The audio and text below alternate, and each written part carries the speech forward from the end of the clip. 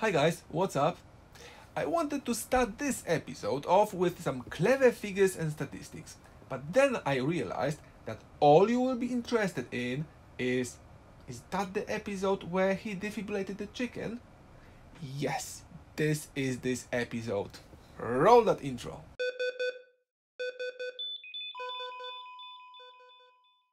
Nearly 13 years ago, when I was trained as a paramedic, we were told that defibrillation on wet surfaces and metal surfaces should not take place because it's dangerous and you basically can get killed. Later on, when we moved from traditional paddles to those posh combo electrodes, we were taught, um, yeah, it's absolutely fine. Um, you may defibrillate on wet surfaces and metal surfaces. And that's cool. I thought that's amazing. But is there a research that can actually back this theory? So I started to dig. First up, Resuscitation Council guidelines. Over 300 pages and no hard evidence that we actually can defibrillate on wet and metal surface. Resuscitation Council webpage, uh, yeah, in um, frequently asked questions section, you may find a statement Yes, it is usually safe to use an AED on victim who is lying on the metal, wet or other conductive surface. And where is the proof? Who actually checked that it is safe? I started to dig even deeper. Second stop, Resuscitation Journal issue 106 from 2016.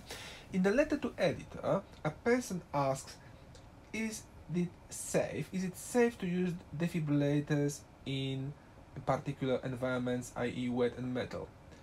And in the answer, editor mm, brings up independent study from 2003. So I found this independent study. It was actually uh, published in Pre-Hospital Emergency Care Journal, uh, volume 7, in 2003 and that was um, study carried out by Tom Lyster, Don Jorgenson and Carl Morgan. And this thing is really amazing. What those guys did was they bought a turkey from the shops and um, the turkey was placed on the cement floor while pool water was applied to the surrounding area. Defibrillation shocks were delivered to the turkey and the probe was used to measure the voltage an operator or bystander would receive at different points surrounding the surrogate. And you know what they found out? They found out that the maximum voltage around the turkey was 3 volts. 3 volts is less than you have in this battery. So I thought I need to try this. I carefully read a report by Lyster and his friends. I got my head around the Ohm's law, Kirchhoff's law, and understood what's the difference between current and voltage. And most importantly, for the whole time, I maintain safety procedures. By the way, don't try it at home, kids. You have me. Okay, guys, remember safety first. So, I've got my rubber gloves. The metal plate the chicken is on is well isolated.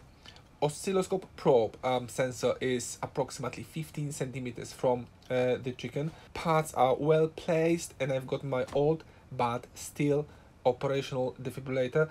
So, uh, let's charge to 360 joules.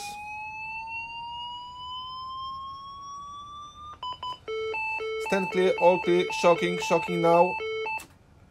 Shock delivered. Uh, not even uh, 3 volts. Yes, it is safe to defibrillate on the metal surface. However, uh, as we are in England, let's get some uh, rain here. Let's check the same thing in the in the rain. In uh, on the wet environment uh, let's repeat the test. Charging.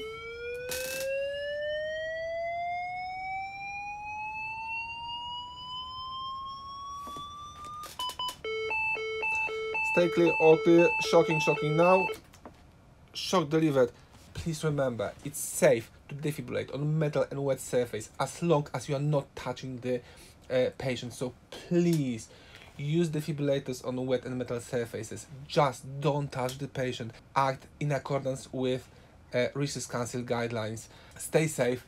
I hope you enjoyed this episode. My name is Alex Hepner and this was Group Call.